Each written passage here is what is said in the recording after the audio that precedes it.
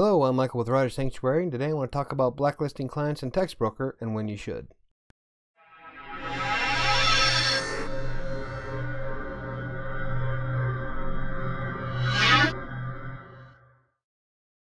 But before we get started, if you have any questions regarding TextBroker, leave them in the comments down below. I'll try to help as best I can. So what is blacklisting in TextBroker? As an author, you have the option to add any client you want to a blacklist. This means they can no longer send you messages, direct orders, or team invites.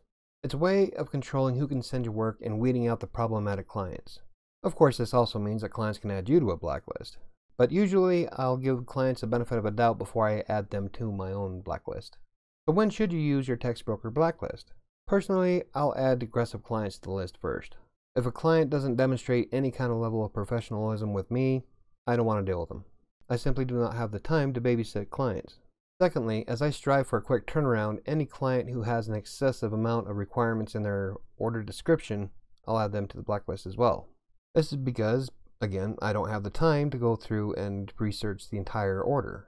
For me, it doesn't make sense to spend 45 minutes on a $5 article just to make sure the client gets what he or she wants. In the meantime, I could have easily have doubled the income by working for other clients.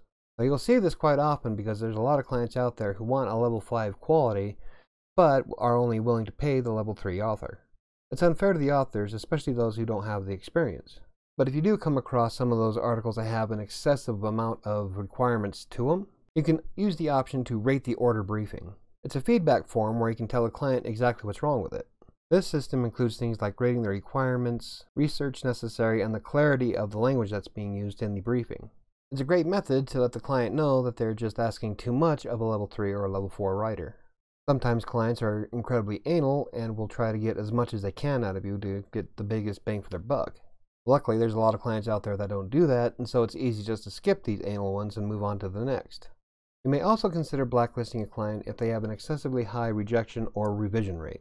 This doesn't necessarily mean the client is bad, though. It could simply mean that the client hasn't found an author that could fit what they need. And even though there's a lot of talented writers on TextBroker, there's quite a few that have quite poor quality. I hear from clients all the time about some of the work that authors have submitted to them. One client in particular wished that she can clone me. But revision and rejection rates don't always point to a problematic client. In one instance, I saw a client that had a 20% revision rate. This means he or she asked for a revision one out of every five articles that were submitted. And in TextBroker, 20% revision rate is fairly high. However, I gave the client a benefit of a doubt and I've yet to have a revision request come back from that particular client. Of course, I've only completed about 10 orders from this client. But still, it's a good example of how a revision rate isn't always the best judge for blacklisting a client. So how do you blacklist a client in TextBroker? Well, in most sections of TextBroker, you can click on the client ID number. This will show a basic profile of what the client has, like their revision rate, the rejection rate, and then a list of things that you can do, actions you can take. Just click the link that says Set Client on Blacklist. Now this will immediately add the client to the blacklist without asking are you sure. It just all of a sudden will throw that person in the blacklist. No questions asked. So before you do it, make sure you mean it. And after you click on that link, a new message will appear on the client's profile that says that this client is on my blacklist. Which means you now have a reminder that if you ever check on this client in the future, you'll see that it's on your blacklist. This is helpful for some of the clients that hang around for years on end and you really don't like them and you click on the profile and you see, oh, yep, he's on your blacklist. And if you want to remove a client from a blacklist, you just click on the link that says Remove Client from Blacklist. It'll be on the same profile screen that you click on. But what's an alternative to using the blacklist? In some cases, I'll use the Change Client Specific Rate option that's available in that TextBroker client screen. This lets you adjust how much that a client's going to pay you for a certain work. In cases when the research and the requirements are excessive, I'll increase the rate. Remember, TextBroker authors are paid on production. You want to make sure you're getting your fair share. You want to make sure that you're being compensated for the amount of work that you're putting into the order.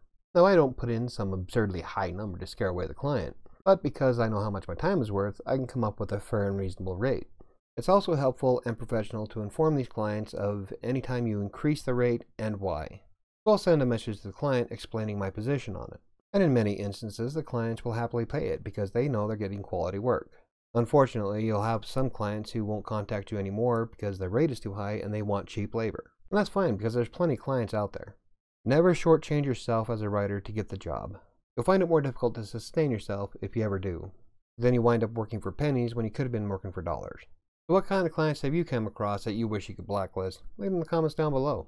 If you found the video informative, hit the like button. If you want to learn more about TextBroker, freelance writing, WordPress, or Wattpad, hit the subscribe button. I try to produce videos every Tuesday, Wednesday, and Thursday.